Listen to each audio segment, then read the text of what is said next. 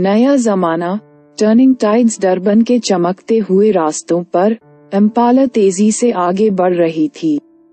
कुलवंत, का चला रहे, खुशी से एक बॉलीवुड सॉन्ग गुनगुनाते जा रहे थे। सुरभि, चुपचाप बैठी हुई यूस ताजी निगाहों से ध्यान से देख रही थी। जब अम्पाला बाज़ार की भरी हुई साधकों से गुजर रही थी, सुरभि ने कुलवंत पर तेज नज़र डाली और कहा अंकल अगर आपको एक मेडिकल शॉप दिखे तो कृपया यूज़ साइड में रोक देना। मुझे दवाई लेनी है। कुलवंत के चेहरे पर आश्चर्य का व्यक्ति हुआ। क्यों? तुम्हारा स्वास्थ्य तो ठीक है ना? हाँ मैं ठीक हूँ। तो फिर तुम्हें दवाई क्यों चाहिए? तुम्हारे लिए, मेरे लिए, मेरे साथ कुछ हुआ है क्या? मैं बिल्कुल ठीक हूँ। तुम बहुत भोलू हो। तुम्हें समझ नहीं आएगा। अगर तुम्हें कहीं मेडिकल शॉप दिखे तो वहाँ गाड़ी साइड में करके रोक देना। मैं वन मिनट में वापस आ जाऊँगी। कुलवंत को समझ में नहीं आया तो वो चुप हो गए। उनकी निगाहें स्क्रीन विंडो से होकर बाज़ार के दोनों तरफ़ भाग रही थी। कुछ देर बाद एक मेडिकल शॉप दिखाई दी तो गाड़ी को साइड में लेकर शॉप के सामने रोक दिया। लाभ दवाई की दुकान आ गई। जल्दी से दवाई लेकर आओ। सुरभि ने जल्दी से दरवाज़ा खोलकर मेडिकल शॉप पर पहुँच गई। कुलवंत गाड़ी में बैठे बैठे ही सुरभि को देखते रहे। उन्होंने क्या दवाई ली? वो चाह कर भी नहीं जान पाए। सुरभि ने दवाई को पस में डाला और पैसे देकर तुरंत वापस आ गई। घर चलिए, बोली सुरभि कुलवंत की तरफ़ देखते हुए। हो गया काम। कुलवंत को बात समझ में नहीं आई तो वो छुप्पी साध ली। उनकी निगाहें स्क्रीन विंडो से होकर बाज़ार के दोनों तरफ़ भाग रही थी। कुलवंत ने सुरभि पर एक नज़र डाली। पता नहीं क्यों आज उन्हें सुरभि में कुछ बदलाव सा नज़र आ रहा था। वन महीने पहले जब वो डरबन आए थे, तब की सुरभि और आज की सुरभि में ज़मीन आसमान का फ़र्क था। पिछले टू दिनों में टू उसका हवाभव एकदम बदल सा गया था। ये सब सोचते सोचते वो विचारों में खो गए। कल सुबह वो धड़धड़ाते हुए स्नान घर में घुस गए तो उनके पाँव के नीचे की ज़मीन घीस गई थी। वहाँ पर सुरभि पहले से ही स्नान कर रही थी। उसके तन पर एक भी कपड़ा नहीं था। कुलवंत फ़ौरन बाहर आ गए। सुरभि की पीठ दरवाजे की तरफ़ थी। शायद उसने कुलवंत को नहीं देखा था। कुलवंत की साँसें ढोकने की तरह चलने लगी। वो सोफा पर गिर पड़े। सोचने लगे कि अच्छा हुआ कि सुरभि को कुछ पता नहीं चला।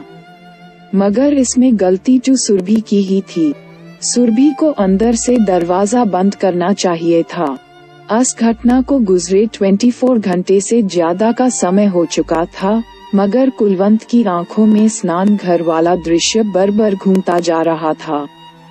युवान की दहलीज पर खड़ी सुरभि के उस रूप ने यूज़ झकझोर कर रख दिया था। यूज़ अपने आप पर सुरभि पर ज़्यादा गुस्सा आ रहा था। उसने भी सुरभि के अंदर से दरवाज़ा बंद क्यों नहीं किया? क्या ये लापरवाही थी या जानबूझकर की गई कारस्तानी? नहीं नहीं, ये लापरवाही नहीं हो सकती। ये सब सुरभि ने जानबूझकर किया है। अच्छा होगा कि निशांत जल्दी से वापस आ जाए। इन विचारों के साथ वो बचपन की यादों में खो गए। कुलवंत और निशांत बचपन के दोस्त थे। दोनों के घर आसपास आए थे। साथ ही खेलते कूदते बचपन गुजरा। एक ही स्कूल में शिक्षा मिली। यूनिवर्सिटी में भी साथ में एडमिशन लिया।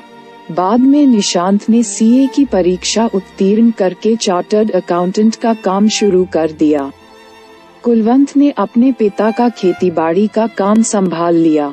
एक दिन अच्छा रिश्ता आया तो प्रभु दयाल जी ने अपने बेटे निशांत का विवाह सृजना के साथ धूमधाम से कर दिया। कुलवंत ब्याह के कामों में वन महीने तक जुटा रहा।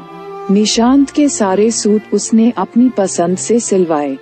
बारातियों की लिस्ट बनाने से लेकर प्रीति भोज का मेनू तय करने तक में उसने प्रभुदयाल जी की मदद की। लोग भी कहने लगे कि निशांत और कुलवंत दोस्त नहीं, बल्कि भाई हैं। कुछ समय बाद कुलवंत की भी शादी हो गई। उसकी शादी में निशांत टू आया, मगर उसकी पत्नी सृजना नहीं आई थी। कुलवंत को बुरा लगा। उसने अपने दोस्त को अच्छी तरह सुनाया। निशांत ने उस दिन कुछ भी नहीं बोला। कुलवंत की हर बात को उसने सहजता से लिया। घर घरस्थी में बंधने के बाद दोनों अपनी अपनी घरस्थी में व्यस्त हो गए। कभी कभी दोनों मिलते तो एक दूसरे से शिकायत करने में ही समय गवा देते। कुलवंत को कर बार लगा कि निशांत की घरस्थी में सब कुछ ठीक नहीं है। उन्हीं दिनों खबर लगी कि निशांत के बेटी हुई है। मिठाई और उपहार देकर दोनों पति पत्नी वापस आ गए। कुछ दिनों बाद एक अन्य मित्र के द्वारा पता चला कि निशांत और सृजना की आपस में नहीं बनती। दोनों में रोज ही झगड़े होते रहते हैं। पुत्र और बहू के झगड़ों से दुखी प्रभुदयाल जी की एक दिन हार्ट अटैक से मौत हो गई। उनकी मौत के बाद टू निशांत और सृजना का मामला बिगड़ता ही चला गया। मित्रों के घर के बुरे समाचारों के बाद कुलवंत भी चिंतित हो उठा। एक दिन वो अपनी निशा को लेकर निशांत के घर गया। वहाँ दोनों को समझाया। यहाँ कुलवंत को पहली बार लगा कि सृजना बहुत ही आक्रामक स्वभाव की थी।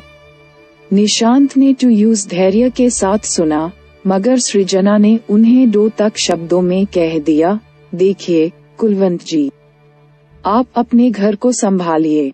हमारे घर के मामलों में आपको पंचायत करने की ज़रूरत नहीं है।